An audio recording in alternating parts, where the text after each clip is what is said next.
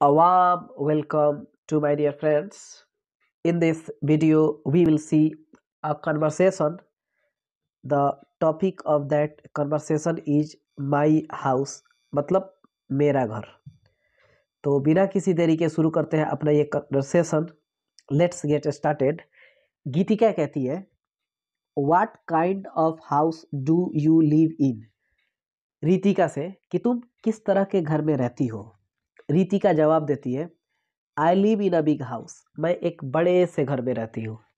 गीति का सवाल करती है how many rooms are there in your house तुम्हारे घर में कितने कमरे हैं? रीति का जवाब देती है there are many rooms in my house मेरे घर में बहुत सारे कमरे हैं। गीतिका सवाल करती है नेम सम ऑफ़ देम कुछ रूमों के नाम बताओ। तो रीतिका बोलती है दे आर ड्राइंग रूम जैसे कमरों का नाम बताती है ड्राइंग रूम फिर बताती है डाइनिंग रूम फिर bedroom bathroom and study room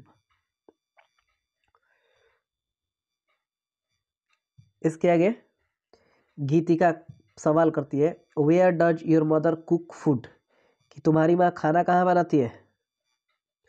तो रीतिका जवाब देती है my mother cooks food in the kitchen मेरी माँ खाना ना किचन में बनाती है, रसोई घर में। गीतिका सवाल करती है वेयर डू यू स्लीप तुम सोती कहाँ हो? तो रीतिका बोलती है I sleep in the bath bedroom मैं बेडरूम में सोती हूँ।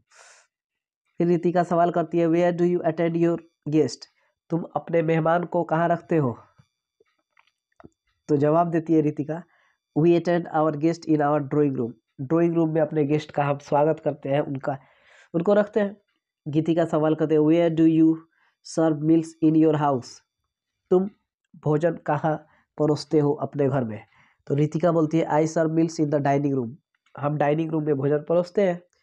गीतिका सवाल करती है where do you take bath तुम नहाती कहाँ हो? तो रितिका जवाब देती है I take bath every morning in the bathroom मैं हर दिन सुबह बाथरूम में नहाती हूँ। और इस तरह से अपना ये कन्वर्सेशन ख़त्म होता है। And thank you